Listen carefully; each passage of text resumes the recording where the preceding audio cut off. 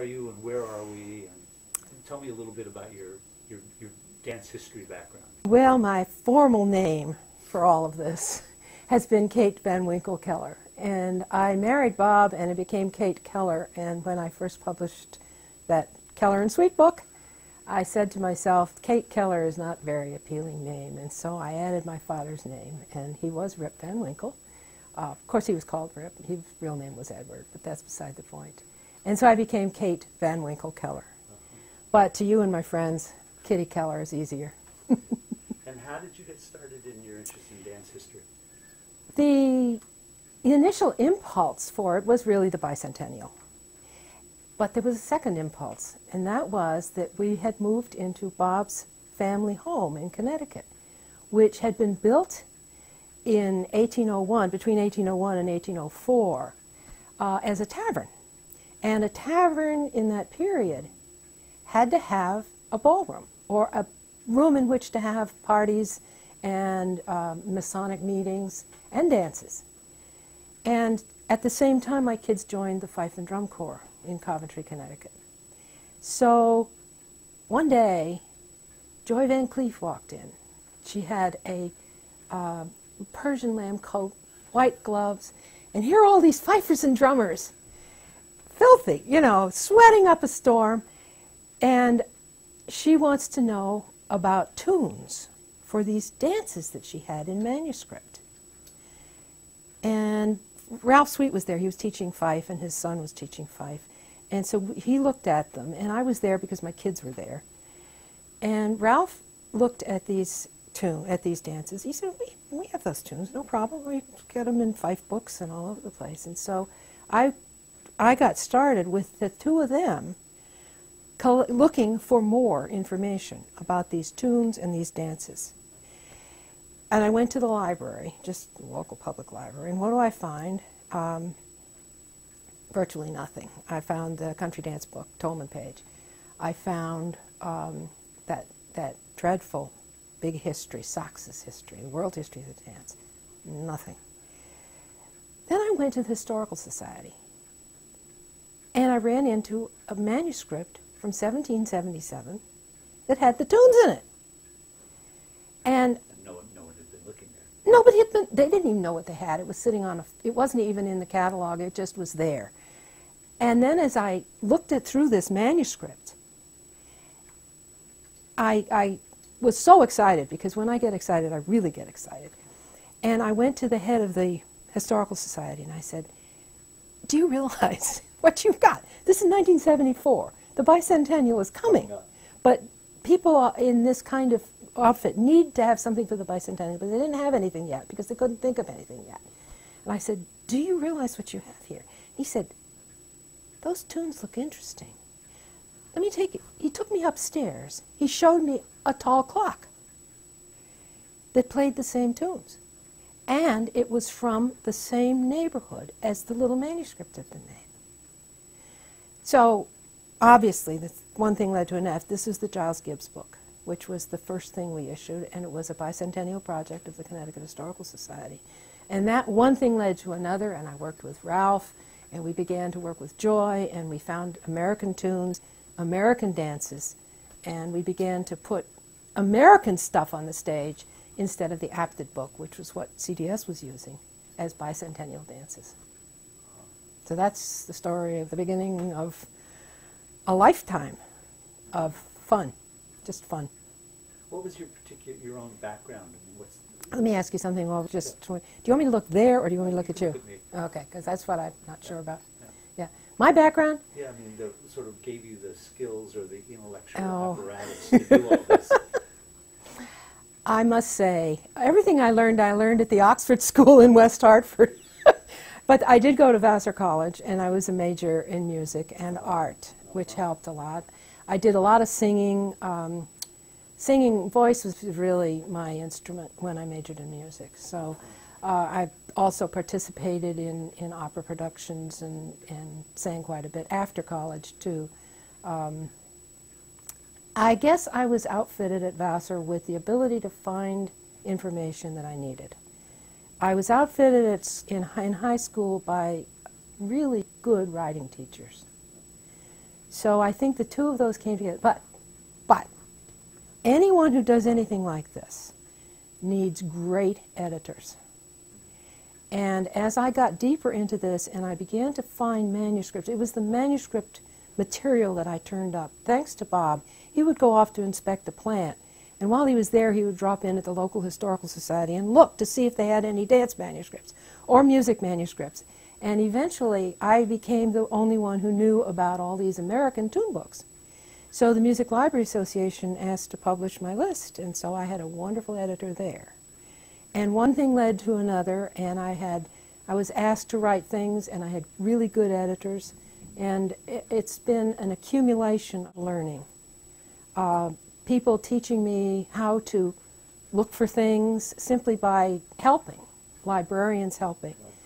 Yeah, and then I also, very right, almost from the beginning, I became associated. First of all, I went up to, uh, this kind of mixed up, but um, we'll straighten it out later. I went, when I found the Gibbs manuscript, I went up to Old Sturbridge Village where I had been going regularly to find more information about our house because it was of the period of, of Sturbridge Village. So um, I met Art Schrader up there. He was the music um, man at, at Old Sturbridge Village. And when he found out about the Gibbs manuscript, he was the one who supported me in it.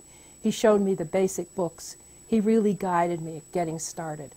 And then he also introduced me to a group of music uh, professors and people interested in music called the Sonneck Society. They've now become the Society for American Music. But I joined immediately and quickly got deep into this group of people, which was absolutely wonderful because there again, it was a support system. It was fellow, I mean, we're all fellow working, yeah. totally fellow enthusiasts who were working towards the bicentennial. And um, in order to do that, we, we kind of had to work together because everybody was doing little things. And it was the, it was the combination of what this one was doing and that was doing. Uh, Barbara Lambert was in the society. She found out what I was doing. She asked me to write an article, and Joy and I wrote an article that appeared in her really big book from Colonial, uh, Colonial, Colonial Society of Massachusetts published it. That was a big feather in my cap to be, to be in that book, and our article started the book. So that was a major breakthrough. Then the, the Music Library Association uh, taking on my stuff and it just grew and grew and grew. So it, it that was pretty much what it was. Um, I got really started in looking for tunes. I mean, as you could tell from the very beginning, I was looking for tunes. So I'm, I'm the tune one. The dance just came because it was a big hollow there. Nobody was working on it. And so I worked on the dance just sort of on the side, but I was really looking for tunes. And in my work for looking for tunes with the Sonneck Society, we developed a project called the National Tune Index, which was funded by the NEH. And um, that was published almost within six months. The NEH couldn't believe it. They love my project. they, they because I, they get done. They get done. And not only that, since then, Bob has taken, here we go, here with the clocks. Talking about we'll, things we'll that you. so, so the, the question that obviously comes is, all right, so there you are with Revolutionary War era stuff. What took you back into English country dance and Playford Ball and English yeah. dance and tune? What took me into the Playford Ball is a very interesting story. And it's been shared. but it's a very interesting story. Obviously, when you find American dances and you say, okay, here we've got these things, we've got American manuscripts with these tunes in them. Guess what? What people were saying was, oh, well, you know, it's American. It's not English, it's American because we were America. And we started to look around and we said, yeah, but you know what? This stuff's all over the place in England. These, these are not uh, American compositions. These are English compositions. So our first article was called The English Sources of American Country Dance. So obviously, you got to go backwards. And of course, then the other thing was Bob and I started dancing. We went to Pine Pinewoods. Joy and Frank got us to Pinewoods. We were there when, um, uh, oh boy, Pat Shaw. Pat Shaw. 74. We were there when Pat Shaw came. we couldn't have been. I, I, I swear there is something up there that guides us, and things happen as they should. Not only Pat Shaw, but Chip Hendrickson were there. And I was a total newbie. They put us in the beginning class, although we knew what we were doing because we had been taking dancing from Joy and Frank. But they put us in the beginning class, and I sat around and I just listened to what was going on at Pinewoods that year, 74. And, and uh, Chip did too. And we met later and we said, you know what? There's something more to the American dance. There's a lot more to the American dance. The more we realized how deeply dance is embedded in the social life of the people, the more we realized that we could not take what we saw in the manuscripts and just put them out like Cecil Sharp had us dancing, which was what CDS was doing because they didn't have anything else. And so they they were just walking around like and, and Chip and I began to work on the steps. And we began to work on the dances as they were danced by what kind of people? Was it the fifers and drummers in their camp? Okay, they're doing to do it one way. If was it George Washington and his officers, they're going to do it entirely differently. And so that was where we really started forging a path of our own. This was not popular. And it was very much not popular. As a matter of fact, Ralph himself said, No, you're going to kill it off. You don't want to do all those fancy steps. Well, Chip and I pursued and persisted. But we did say, Look, we don't want to mess with the old stuff. Let's, you know, leave that alone. There were other people also who were saying, you know, now that we've taken a look, and this is where Pat comes in, we, we really need to rethink some of these interpretations that, that we're growing up with with Cecil Sharp. And he had apparently done this lots, lots earlier than 74. He was, he was rocking. So all of this was at a, at a period when everything was sort of up for grabs. And so I had to go back, and, and I think I became the bête noire of the whole business. Um, I don't, uh, uh, Pat was the real guy to blame, but I was the other guy to blame. And CDS kind of backed off from me. That, you know, she's ruining what we're doing. Because the because on steps was making it because steps is making it different, and I wasn't trying to change. And, and but but I was insisting that we look at the sources. Don't take it from a an interpretation. Let's not get it out of Sachs. Let's not get it out of Sharp. We've got the sources. Let's go to the sources. That's what Pat was saying. And, and we were finding the same thing with the American sources. Once we began to find these manuscripts, they kept coming. I have a shelf in there. I, I don't know how many, hundreds of tune books I have. And uh, we developed the, the bibliography of American dance in manuscript and found, we found all kinds of things. And so we have the sources now. We don't need to have somebody else's interpretation. Well, there was such a kind of a kerfuffle that um, the see it was a Princeton uh, Princeton book company asked me to write a book uh, on the Playford dances as CDS did it. In other words, would you be willing to write a book of the CDS repertory, the sharp repertory? And of course, I thought, why me?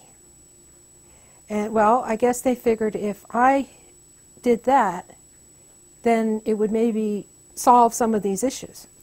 Well, of course, I wasn't qualified to write a book about CD country dances, so I got Jenny. And Jenny at first said, No way.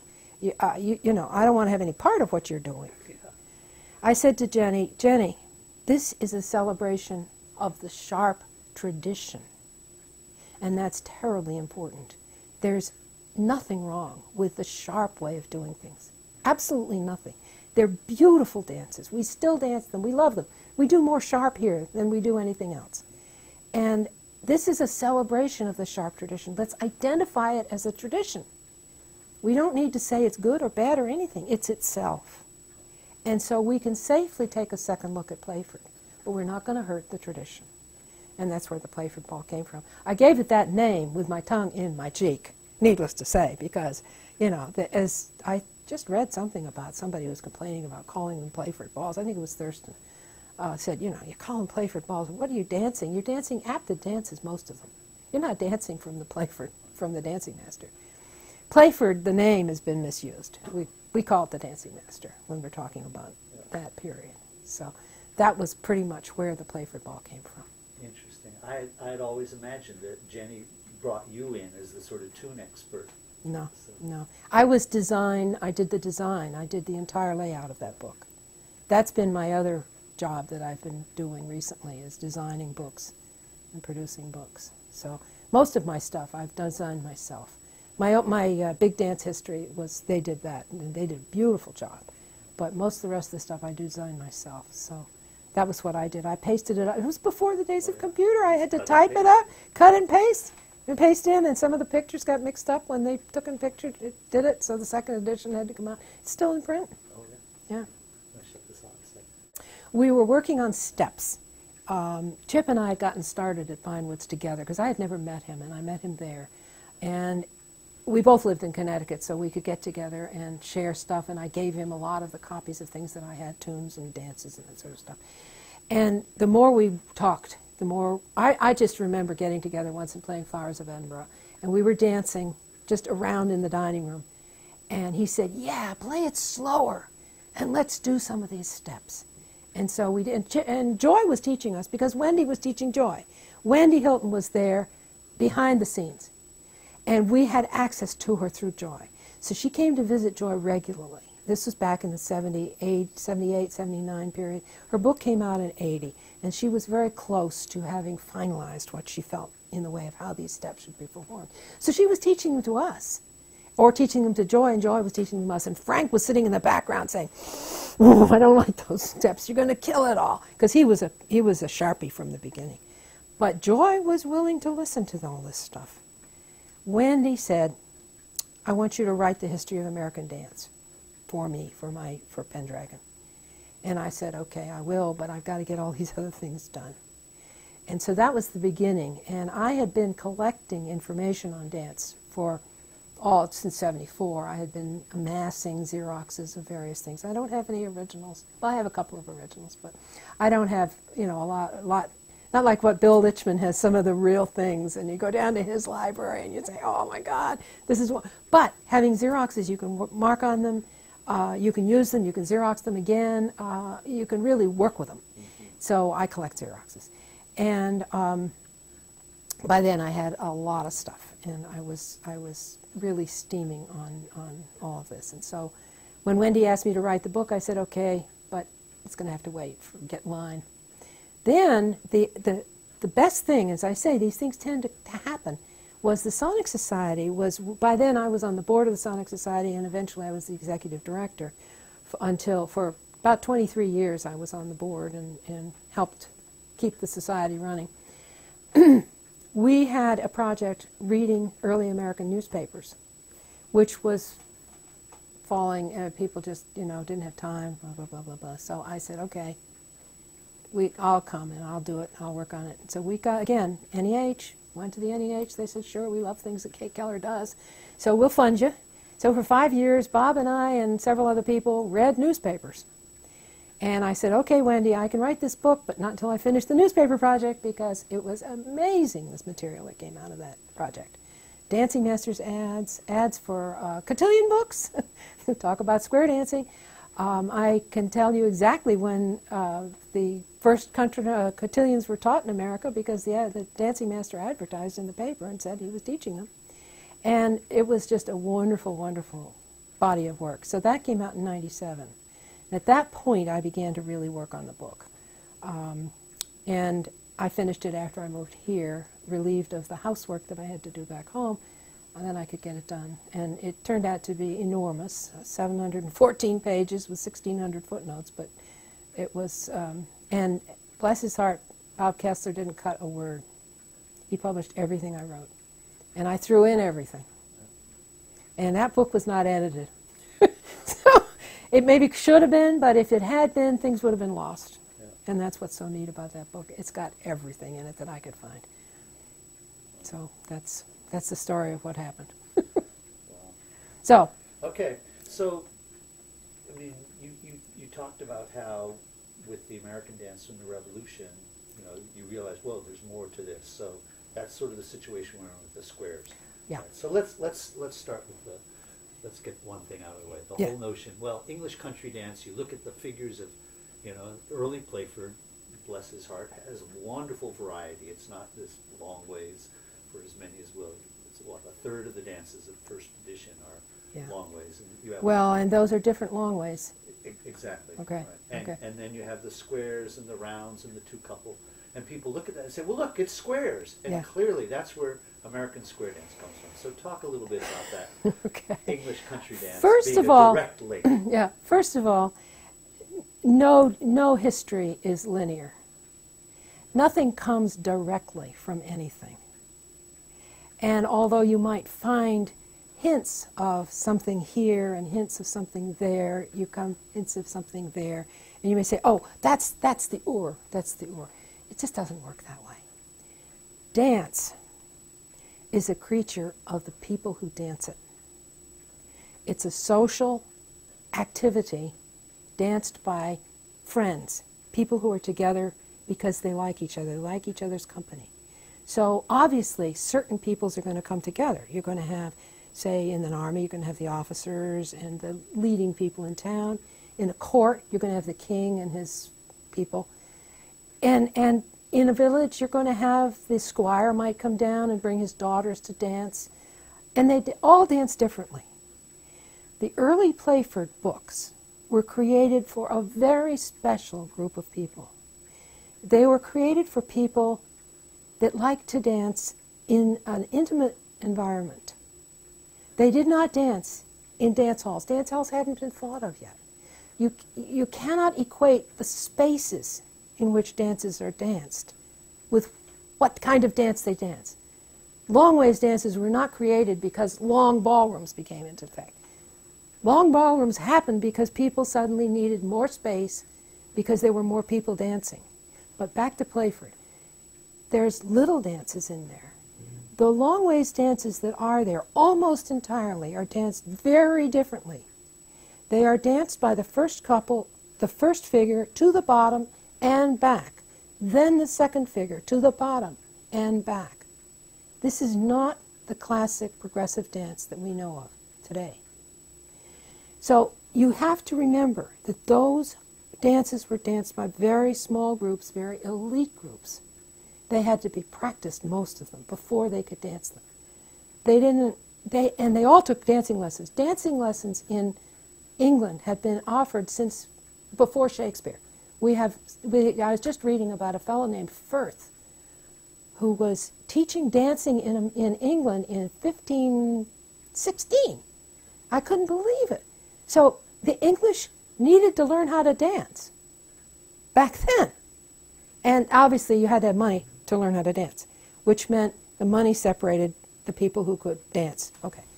Now, English society changed between 1650 and 1750.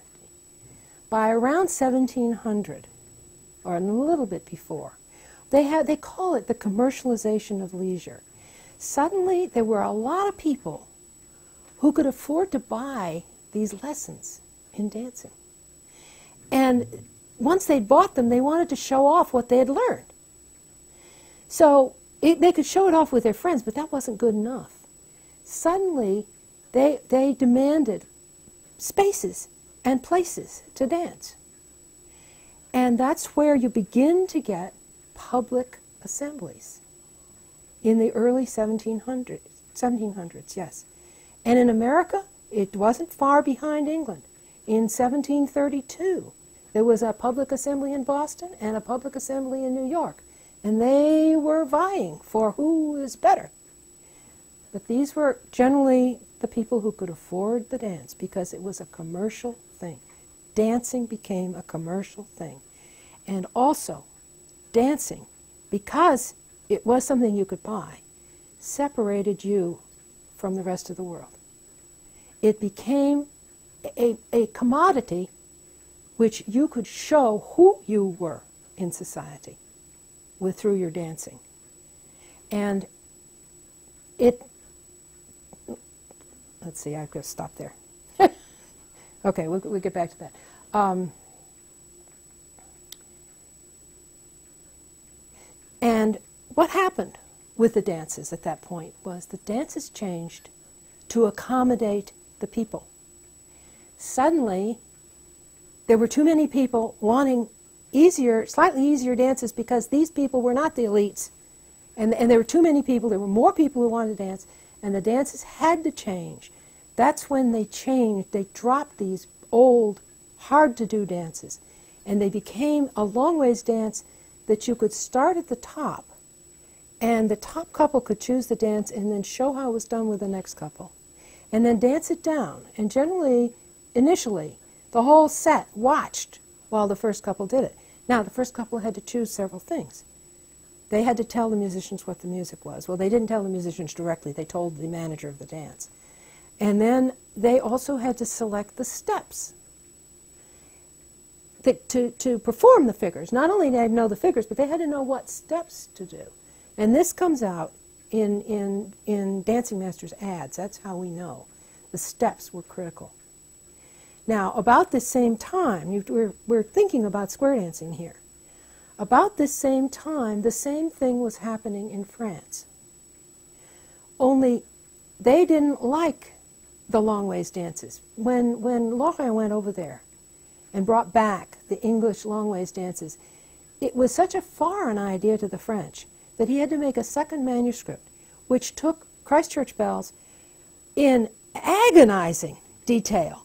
Every single figure, four, four couples dancing, he got the top couple down to the bottom and back to the top in 150 pages.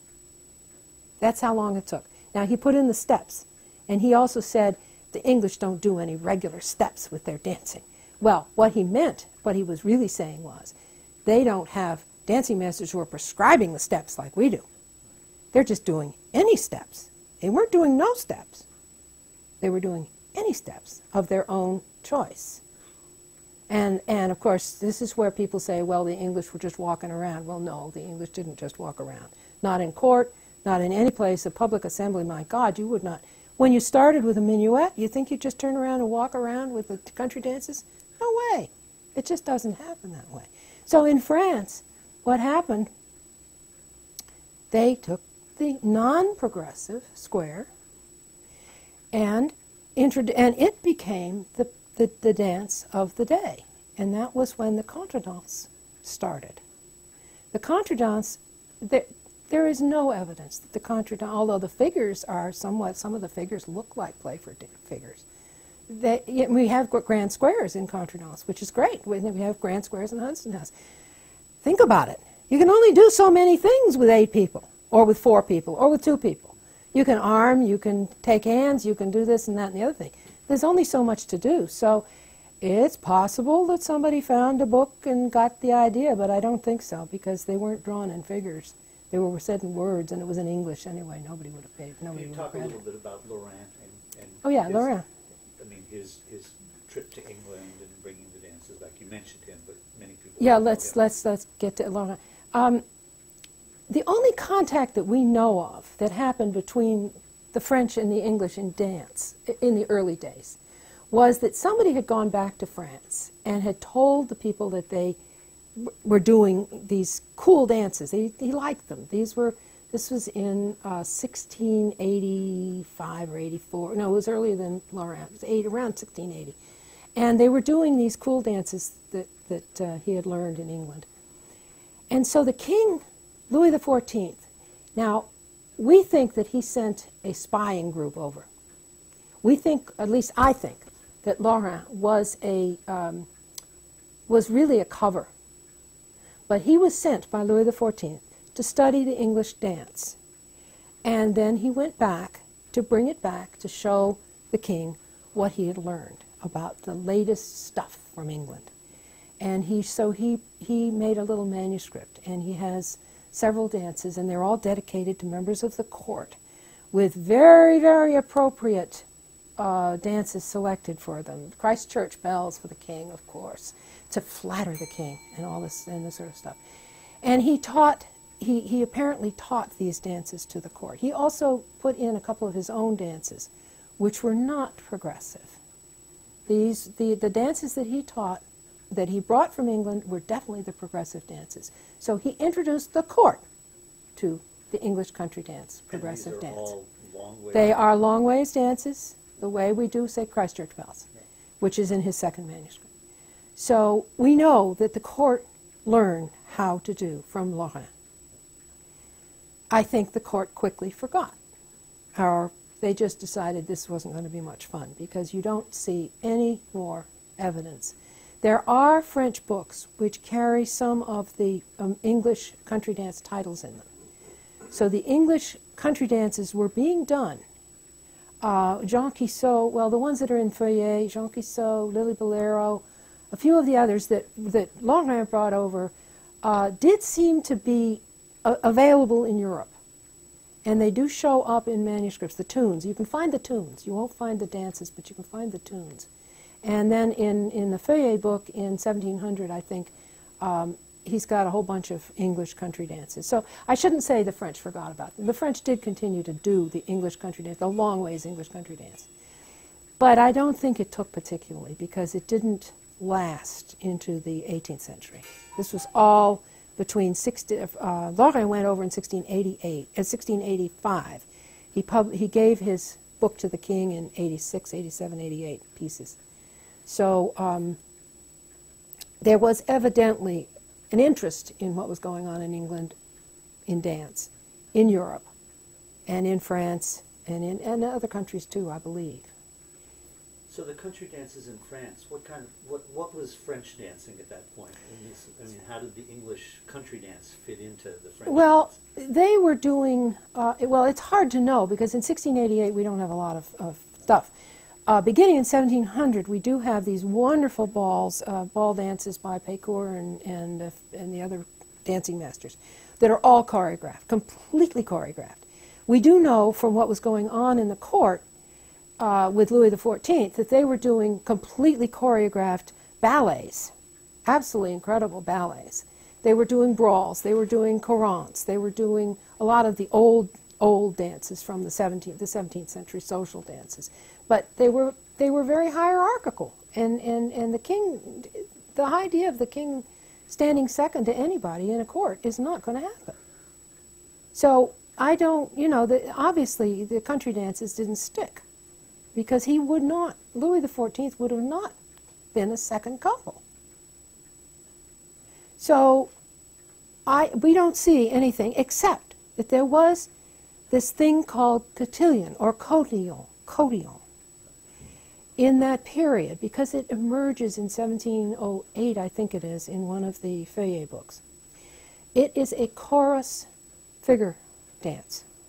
It has a specific chorus that is done, and then the figure keeps changing, and then, then you go back and do the chorus, and you figure, and a new figure, and then a chorus, and a new figure. That's the germ of what became the contredanse, and eventually the cotillion, and eventually the square dance. So let's talk, let's It's talk so the, complicated. It is. I just, mean, I, and I, I spent years sending notes to people saying, I mean, on basics, I don't understand the difference between quadrilles and cotillions. And Right. I finally got that straight. yeah, yeah, yeah, yeah. So And they even called them quadrilles occasionally because they were squares. right. So, what, what I need to see before I can say anything happened is I want to see the primary evidence. I want to see it written down. So we looked at this, and we have in Feuillet, we have something called cotillon. And apparently, from the literature that, uh, bless her heart, uh, Allison has turned up, that was kind of a dirty joke. It was a sexy joke. That's where the petticoat thing comes in. The petticoat thing is not has nothing to do with the dance. It has to do with the word. It's nothing to do with the dance. You didn't do a dance with petticoats. So, but there was a dance that was in now in the case of the early one, only four people. So somebody who is a little um, careless could say, oh, well, that goes back to Parsons Farewell. No, I don't think so. There were a lot of dances that were done, There were court dances that were fully choreographed with steps and the whole nine yards. And the figure was all worked out and drawn out. And, and these, I shouldn't say lots because we don't have that many of them, but I believe we have, the figure that sticks in my mind is 300. Choreographed dances from this period, from the Louis XIV period, from the beginning of the uh, Royal Academy of the Dance, uh, which is in the 60s, 1660, to 18, 1725, that period we have, I think, 300 choreographed dances. So there was really an interest in France in choreographing really beautiful dances for one, two, four, six, eight, ten, you name it, whatever. There's a book that came over here that has dances for all women in different groups with figures all spelled out in around 1700. So those dances, that, that book was brought to America and it was being taught by a dancing master here. So we have a body of literature that we can look at. So the only thing in there that looks anything like a square dance is this one by Feuillet. Then there is a gap. And what fills that gap is the contredanse, which is what I discovered just today. The contredanse, the, the square, this is the contredanse française. Well, they only called it the contredanse. And when, when Lorin spelled contredanse, uh, country, uh, dance, he spelled it D-A-N-C-E. He did not spell it D-A-N-S-E.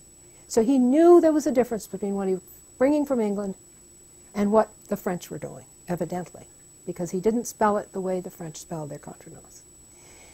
Evidently, what happened is the opera balls began to happen. Again, like the assemblies in England, like the assemblies in America, people wanted to dance. They wanted to dance. If the king was present and would dance, then, they, I mean, these were top, elite, elite, elite, elite people. They would dance. And at the opera balls, which were masked balls, they danced the French contredanse.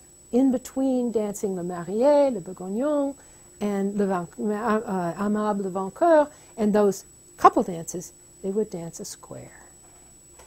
And those are the French country dances. And the difference between uh, the way they did those things, we know because in 62, 1762, de la Cuisse gathered them all together, hundreds and hundreds of these things, and he published them in small livres where there were only four pages. Would just you think of a page with four images on it, and you could fold it up, and it would become a little book. And they would he'd give the front page which had the title of the dance then he'd have the dance figures then he'd have the dance music and then he'd have a couplet about the dance. The french contredances always had a, a song that went with them. Whether they sang it while they danced i don't think so because with all those rigadoons and, and steps you couldn't sing i don't think you'd run out of breath but in any case so all right what these have that the country dance the english country dance do not have is an opening honor to your partner, an opening ring, and a closing sequence. Now, how does the square dance start? Honor your partner, honor your corner, and often some kind of a circle thing. To me, that's a direct link. And it didn't come from Playford.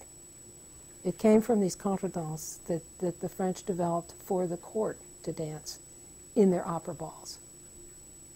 And apparently those were really big, and, and we have massive numbers of these things in De La Cuisse.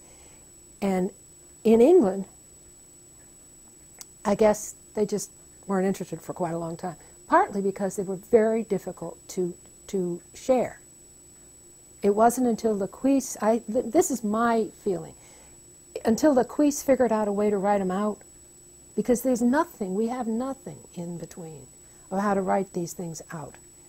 Um, in 62, he wrote them out and he published this massive collection. And is he doing it with diagrams? Diagrams, absolutely with diagrams. We should Similar get. to mean, Yeah, well, not, not that detail of, of Feuillet. Diagrams, figure diagrams. Okay. In my book, there's some sa- samples. You can get them out of there. We can.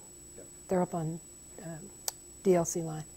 um, anyway, that's worth looking at. Just look at, and, and at the beginning of his book, he tells you the steps you should be using for these things. They are simpler, obviously, because if groups and groups of people, and again, things did get simpler as the 19th century, 18th century went on, because there were more and more people who wanted to consume them.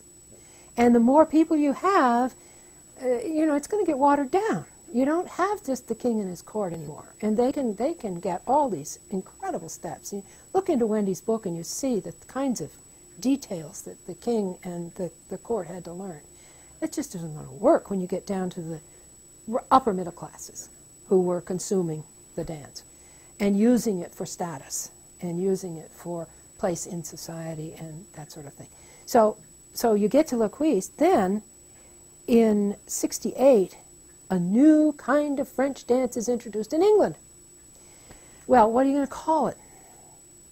You know, it, it became called cotillion. Now, Gallini published a uh, cotillion collection, and it was basically this, the French contredanse sort of boiled down.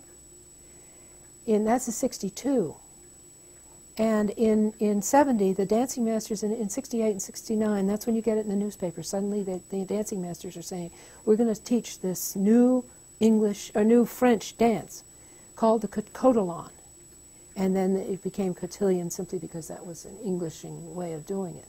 But the complicating factor here, and in America it was only a couple years later that the first one was in Charleston. Naturally, Charleston, they were way ahead of everybody as far as classy, classy things. I mean, they, the Charleston people were closer to the court of England than anybody.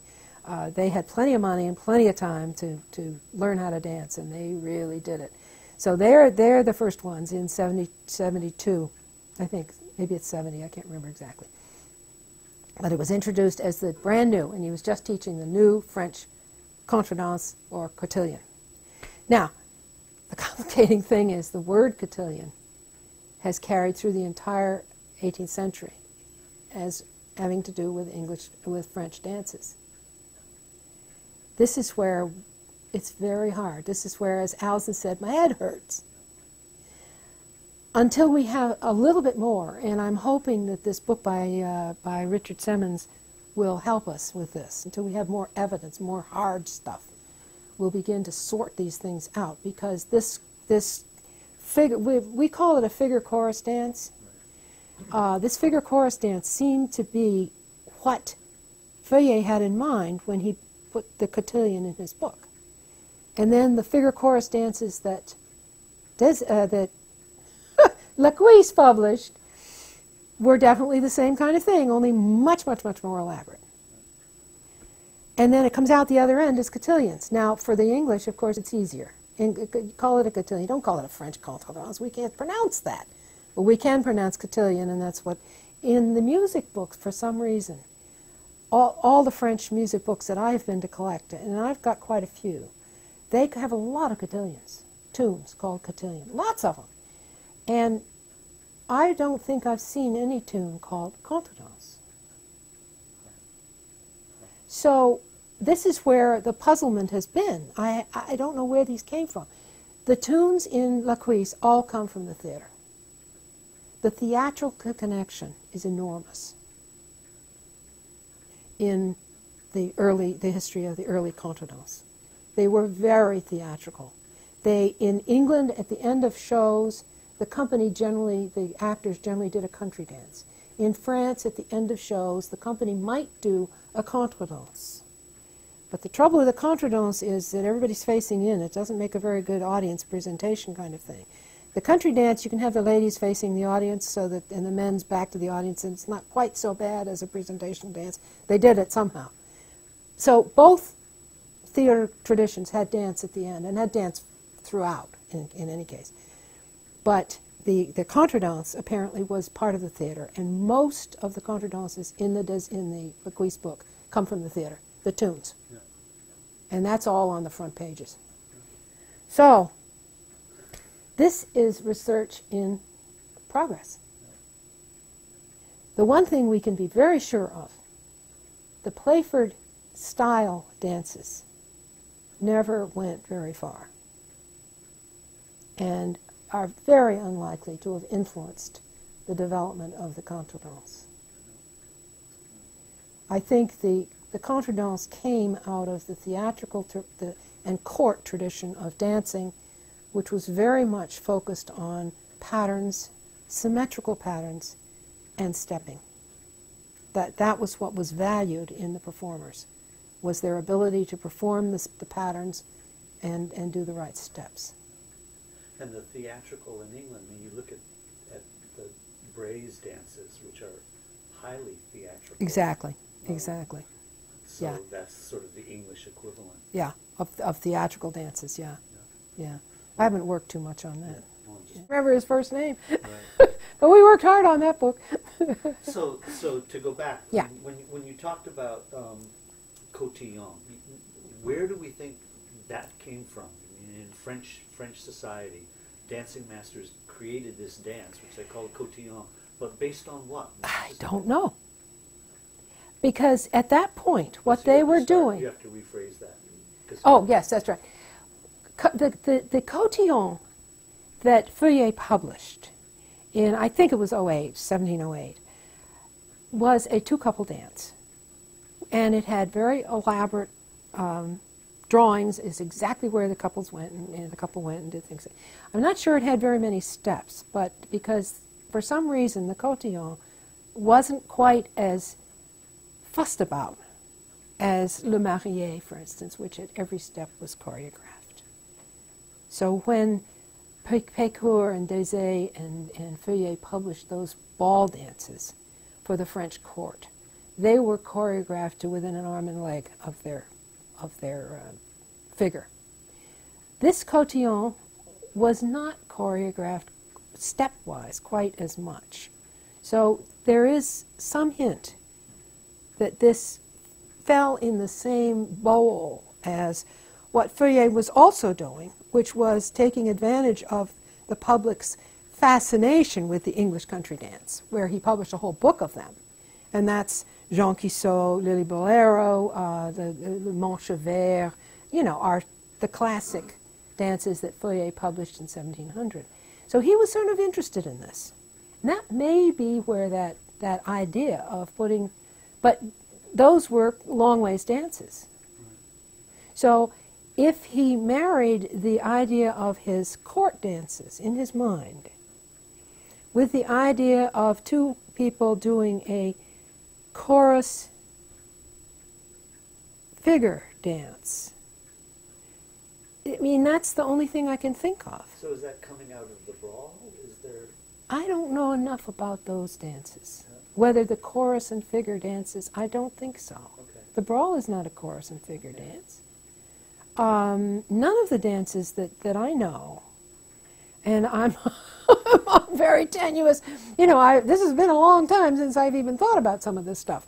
Um, I don't. I now again, there are people we can talk to about whether there are Renaissance and early Baroque antecedents for a figure chorus dance. That would be a, a way to go. Somebody said, talk, talk about it, see if you can find it. Because it clearly has a figure or a, a, a thing that's going to be repeated. Yes, and then a yes, figure. Talk, talk about that structure. Well, okay, the way that dance worked This was this is the cotillon of, de, of Feuillet. The way it worked was that there was pages three, four, five, and six. I think had a figure on it. Then you had page seven and eight, and I'm not absolutely sure about the pages, but it's something like this. It was a new thing, and then it said, "Now do three, four, five, and six. And then there was another figure, and then now do three, four, five, and six. So clearly, it was a figure, changing figure, and a steady, static figure. Now, that's reversed later in the cotillions, where we have the steady changes and the single figure. Th- these are not changes in the same way, uh, at least not because they're complex figures. But there is a refrain that stays the same, which is what happened in the cotillions later, where the, the, core of the cotillion, and then we had the standard changes around it. This has seemed to be the core, and then differing changes around it. So it's not there yet, but it's going there. I'm, I'm, I'm hearing, I'm, I'm, when you talked about your head spinning. well, yeah, the the whole thing of one thing stays the same and one thing changes, and in one case it's the figure that stays the same and the chorus that changes, and in the other it's the chorus that stays the same. And the, I mean, is it a question of the words we're using for the? I don't think so. All right, so I think I think the early, let's see if I can rephrase it. I think the early cotillion in in Feuillet, and I, I, I probably should go back and look at it again. I think the early cotillion in in Feuillet has a figure. Okay. Then it has another figure. Then it says repeat that first figure. Then it has a new figure. And then it says repeat that first figure. Okay. So basically you've got one steady thing and the changing group of interesting figures around it. right. as opposed As to, opposed to, now, when the cotillion comes along, the cotillion, each cotillion has a figure of its own. And then there's a set of standard changes. Everybody, every cotillion starts with a grand round. And in, in France, it's to the right, in England, it's to the left. And then they do a series, and it depended where you were as to what these series were. But generally, a hand turn, uh, left right hand turn, left hand turn, back to back, star, the men's star, the women's star, uh, allemande usually, and finally a grand ring. Again, round wrong. Those stayed the same. Now, that's how, when it got to England, that's how it got the, the, the dance that the French imported over to England stayed. Except what they did was they took the cotillion thing, added the changes, and eventually the people got tired of doing the changes. So they took a whole bunch of cotillions and put them together, called it a quadrille. Left out those stupid changes. Everybody can do those, you know. But, ah, can you do a quadrille where you can do the same figure to different, I mean, a different, differing figure because the different, the, the, the figure of the cotillion. Can you do five cotillions in a row to different music, all in one dance? You got to be good. You got to have gone to dancing school. It's a, it's a commodity. Uh-huh, uh-huh. It's a commodity. And th- that's the way I see it. And, and interestingly enough, I don't think the quadrilles really led to the, to the square dance as smoothly as the French contredanse did. Now, when you think about it, the French contredanse was being taught as a French contredanse, evidently, not necessarily as cotillions, but cotillions were being taught in, in eastern cities. Some French contredances were also being taught. They, they say, they, the, the dancing masters say, in the 1780s, between the end of the Revolution, when the French were our friends, and the XYZ affair in the ni- late 90s, when the French were not our friends, things suddenly French things were not good anymore. But there's that period, and that's when hundreds of thousands of people came from Europe to East Coast cities. They landed in East Coast cities, and those that wanted to wanted to find out what the latest dances were. They brought some with them. They shared them, learned them, because they had to meet people, particularly the upper classes had to meet people. Then they go west and they settle Pittsburgh and they settle Cincinnati and they settle. And what dance do they take with them? The latest dance, the French contredanse. And you have French dancing masters after the Revolution. Only a few. Yeah. There were plenty of English dancing masters teaching French dances. Uh-huh. You can't blame it on the French dancing masters. It's a very handy crutch. No, but I think a lot of people say that's why. Uh-huh. But that's not why. It has to do with demand. It was the latest. That's what they wanted. So they were learning cotillions and French contredanse. Now, those are the most elite people that were learning those kinds of things. The cotillions sifted down. Little country people could learn cotillions. But even cotillions had the same elements that eventually became the square dance. Because they had the bowing in the beginning, they had the grand round, and they had the changes. And then the nut, which is the, the basic square figure. Yeah. And so when does the quadrille emerge? I don't think it emerges. It, it depends where you're talking because everywhere, um, it depends whether you're in England or here. Um, I blame Thomas Wilson for a lot of things. And he he, he, he, he must have had a copy of The Dancing Master, one of the early issues of The Dancing Master, because he published some of the tunes from The Dancing Master that, you know, normally people in his period didn't have a clue what, was, what they were. So he must have had some of that stuff. Now, but that's, that's, that's just Thomas Wilson. Chip used to say he'd be a hot hash country uh, square dance caller if he'd lived today because Thomas Wilson was an amazing, amazing guy.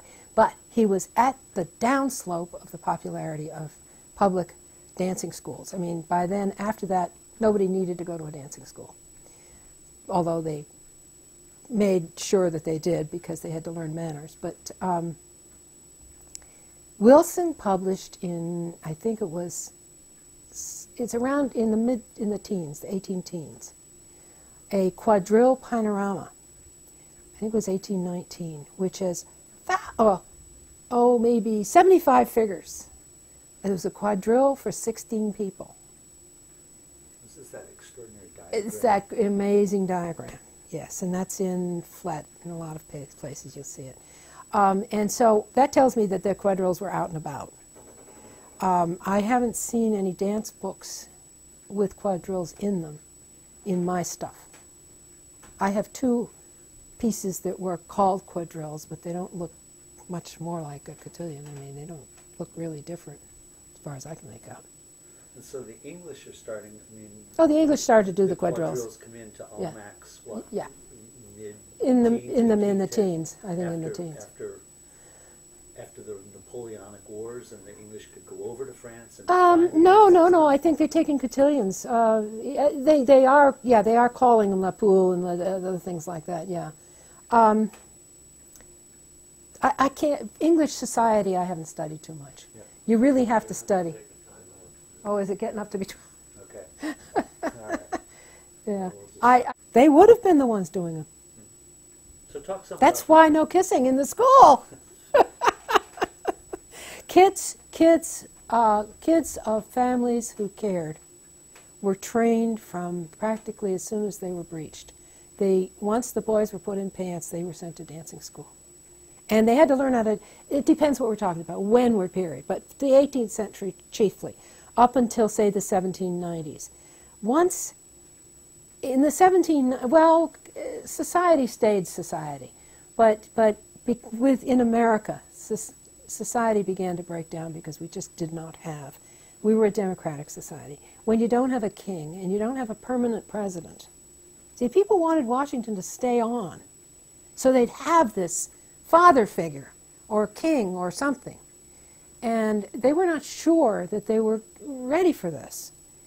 But by the 1790s, you begin to have a sense of uh, we are not a hierarchical society. Now, that's not to say I've, I've read I've read innumerable accounts, and I've read an awful lot of first-person narratives of the local laird lording it over the others and then saying, You're on my you're in my way, get off the road when I want to pat my cart through.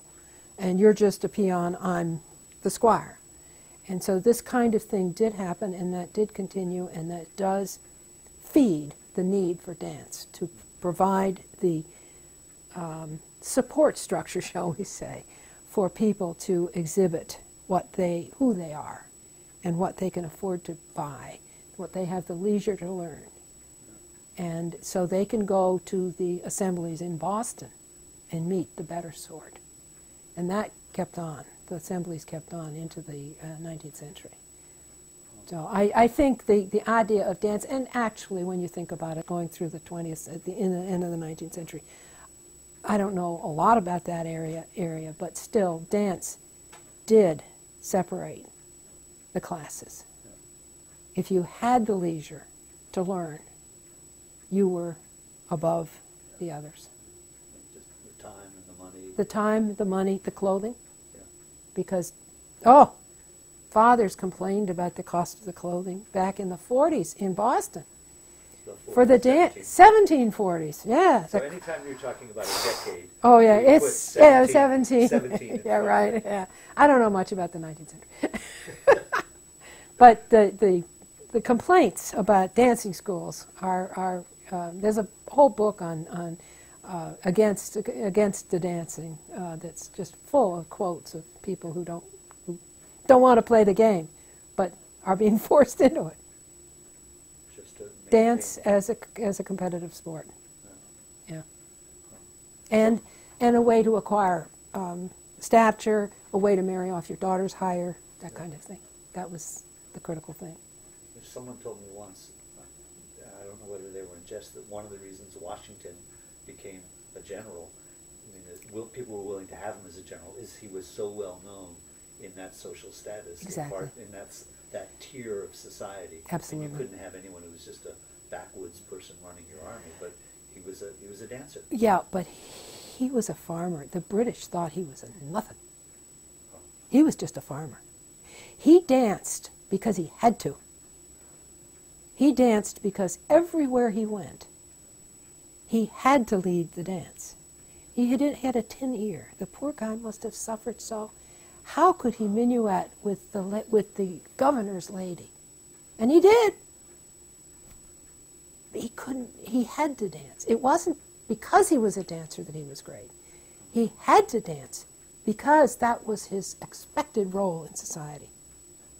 And that would be true of any of the other the governors uh, any of the other leaders in society. Oh there is a very it's an amazing story it was a guy from salem and i've forgotten his name but he's very well known he took lessons from turner in the minuet he had to learn the minuet in order to take his place as a important person in society.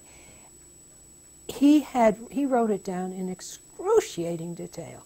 First, you sink gradually with the utmost ease on your right leg. Then you slide. It's in my. It's it's an amazing narrative, and this from a very very important person in, in the early days of American society after the Rev War. Huh? No, I forgot his name. And he was he was from Salem. He was um, he was very important. He's a lawyer, but his his narrative of it was must have been excruciating. He, he never did conquer it. He couldn't have. He, couldn't have. How Washington did, I do not know.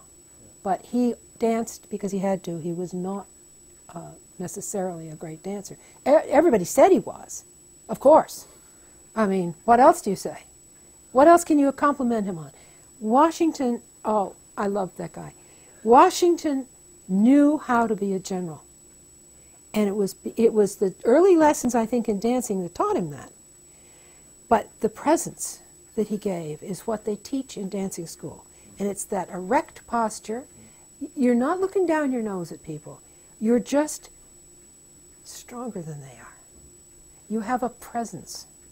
And Bob has told me they learned that in the military.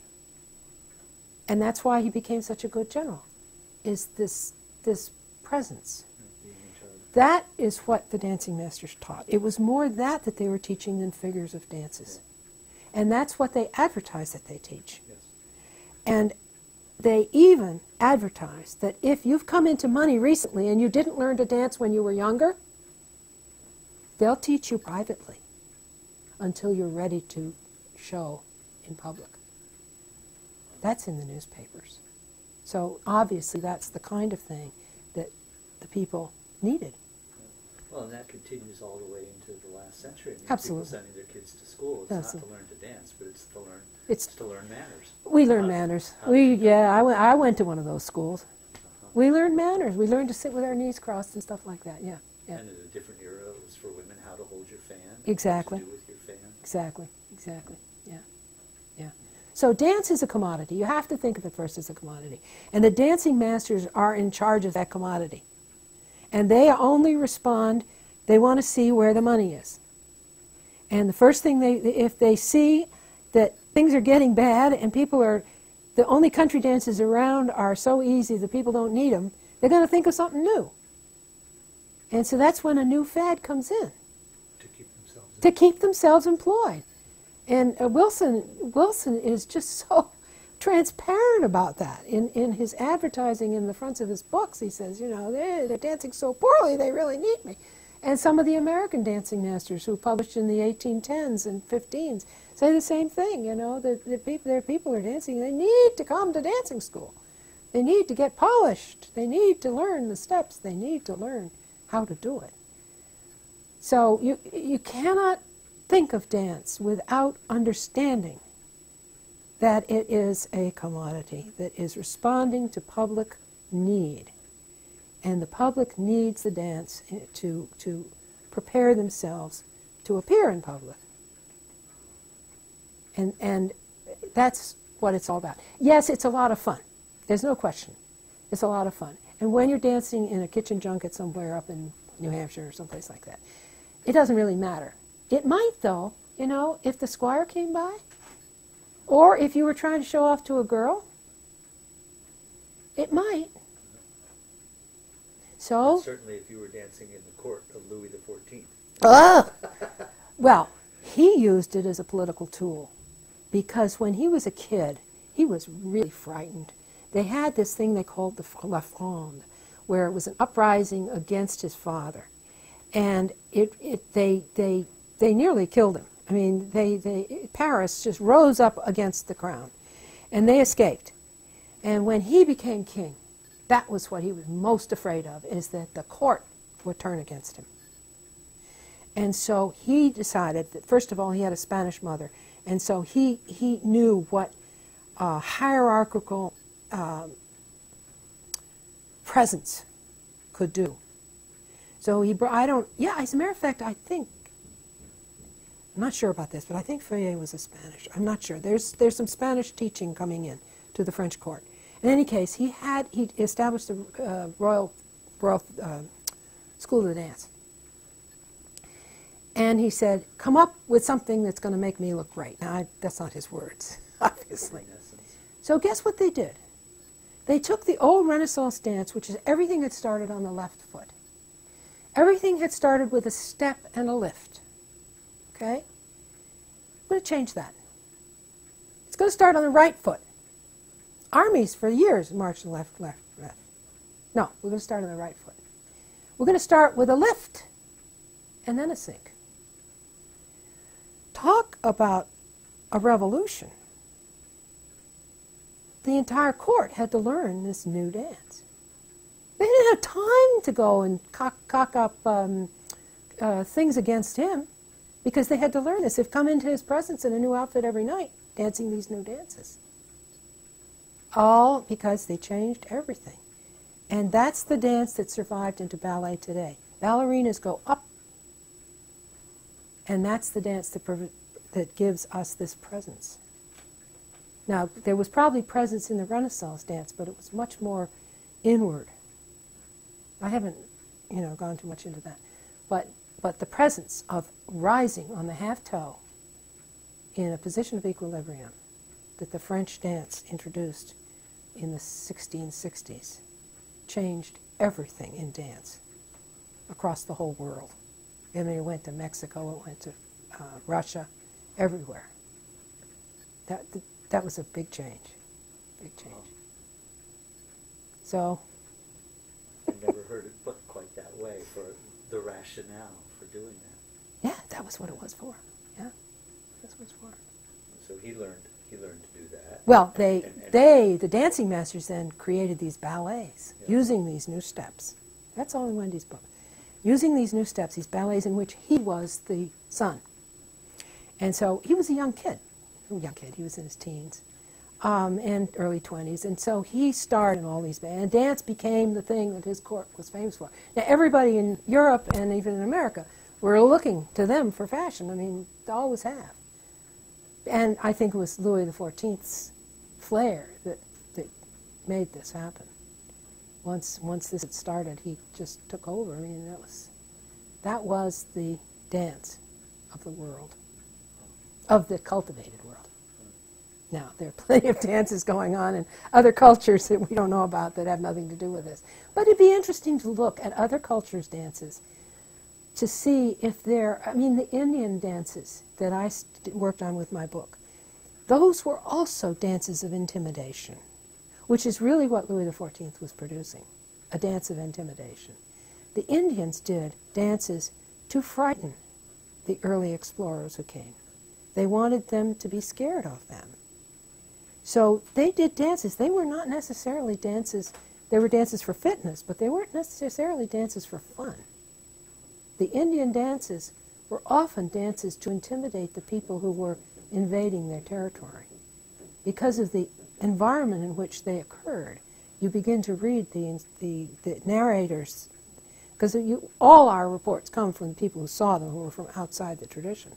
So, the people coming from outside the tradition looked at these things and were scared. Which was the. Which was the point. So we have to be careful about saying, oh, they danced just to have fun. We have to find out why they were dancing, and if we can, what they were dancing. And I, there's a lot of Indian stuff that I turned up that, that tells you pretty much what they were doing. Um, it's sketchy. But it's sort of like this big lacuna we have. Yeah, there's, there's 1850s. Well, it's the, it's the curse, the more you know, the more you know you don't know. Absolutely. Right. You see those holes and you say, oh, how can I fill them? So if, I mean, and this may be moving to a period that you don't know as much about, but if you've got dance in Louis the Fourteenth playing that role, when you have French society change with the Revolution and then Napoleon, does the dance, the dance must change? I, do, I really don't Okay. know. I don't know what happened then because I don't know the sources. we're into the wrong century. Not in my century. my, I don't know uh, whether the contredanse continued. I don't know. But I, I don't know. I mean, this the whole thing is you have to take all this evidence and you have to look at it all. Yeah, Ellis Rogers, I think, argues that, that with the change, with Napoleon and, and his, um, his coterie, that there is a whole different aesthetic and a different, and that the quadrille fits that, that period and that sort of, Well, that could be. Yeah. It depends what you know what the classes how they're being taught the stuff. yeah. Um, And you also have, I don't you have a new generation. you have a, a new generation of soldiers or, or of officers who have come back from the war, coming Officers. back, coming back to England. Yeah, no, we're. Officers are a major, major players. Exactly. I mean, so you have people coming back to England after the Napoleonic Wars, Yeah.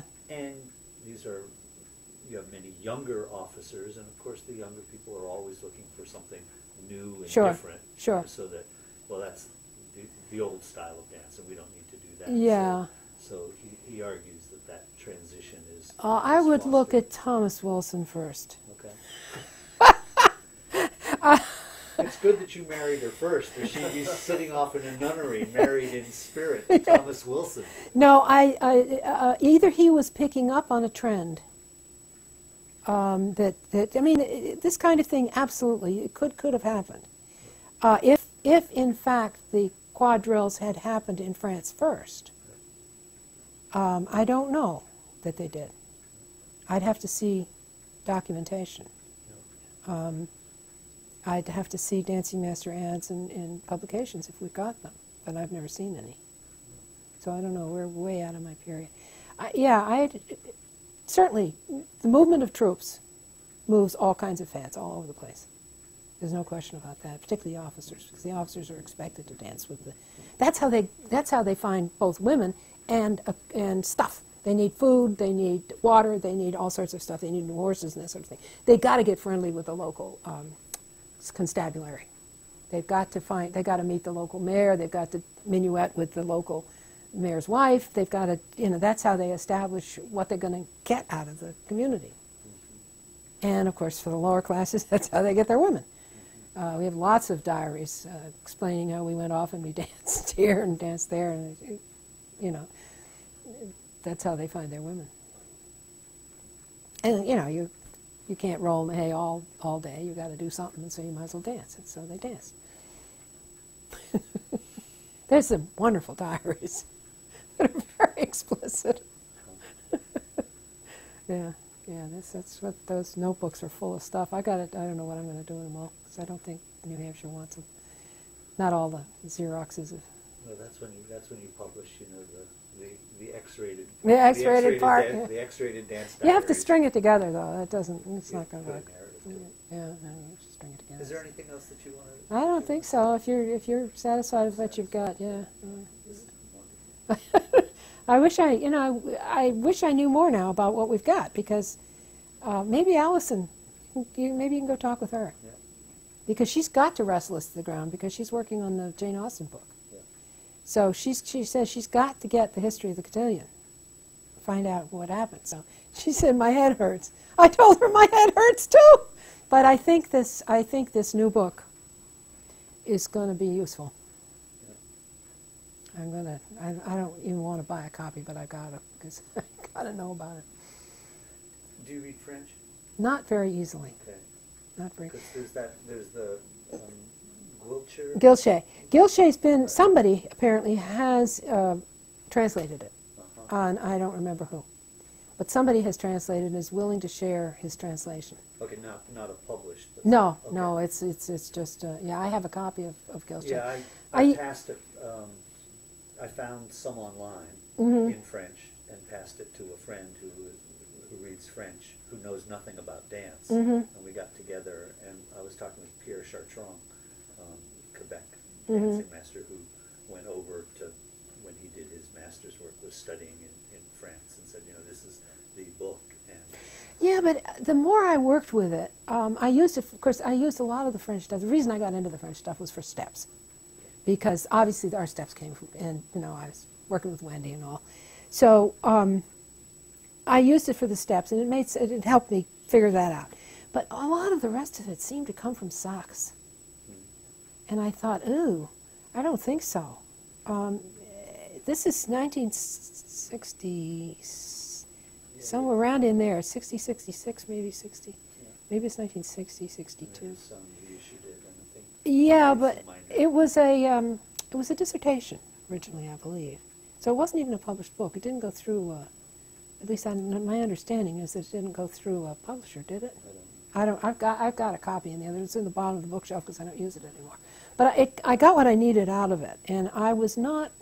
I just didn't find the answers I was looking for, which was where the hell did the square dance come from? and I was. I've been looking for that too. If I had found it, I just until today, um, I would have grabbed it and put it in my shelf. You know, just so when I needed it, I'd have it.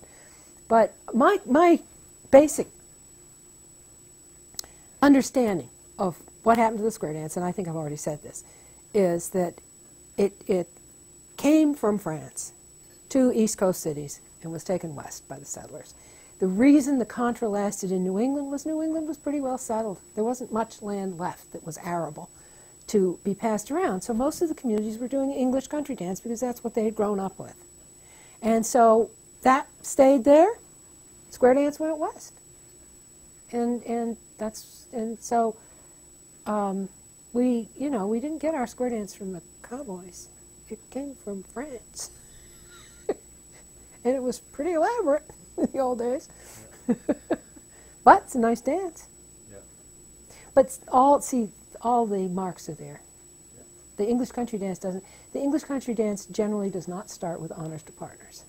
That's that's uh, John Millar would like you to think it always does, but it doesn't. And we've never. The honors are when you reach your place. Uh, you honor your partner. Just and at the and when you finish a figure where you're not going to be active again, you sometimes honor your partner. Just quiet little honors, but they don't have this whole choir dance honoring. That's that's not part of what they do, at least not to what I see. There is a period, and I wrote about it. I think it's online, where we have a bunch of dances in the 1670s that have a honor the presence. I was just going to ask, Yeah. like Never Love Thee More. Yeah, there are a set. There's a set of dances that have the honor the presence bit. That's a presence, not partner. Yeah. You do the presence and then partner, but the, chiefly the presence. They came in and went out, and I've written. There's an essay on on our website about this, uh, with illustrations. I think some of them were older dances where they added this honor the presence to, and I'm not sure how musically it worked out, but whatever it did, it's there. But it disappeared very quickly. It happened just about the time that the Académie Royale de, la Danse was formed. And so there must have been something going on um, in dance at that in 1670s. That um, now let's think what was going on in the court. That that's what we. The next thing you have to look at is what was going on in the court, and um, it's Charles II still. James didn't come in until 82, I think. Ruled till 88 or so. So, and of course, uh, Charles. No, that's Charles II. Charles II was the one who brought back Merry Old England, and and that whole Tony Barrand story of Merry Old England and the and the, the uh, Morris dance taking the English the country dance form and stuff like that. So that's a whole other narrative. So anyway, So that's the brief window where the. where- There's this- it where- came where and the went. presence- it came and went.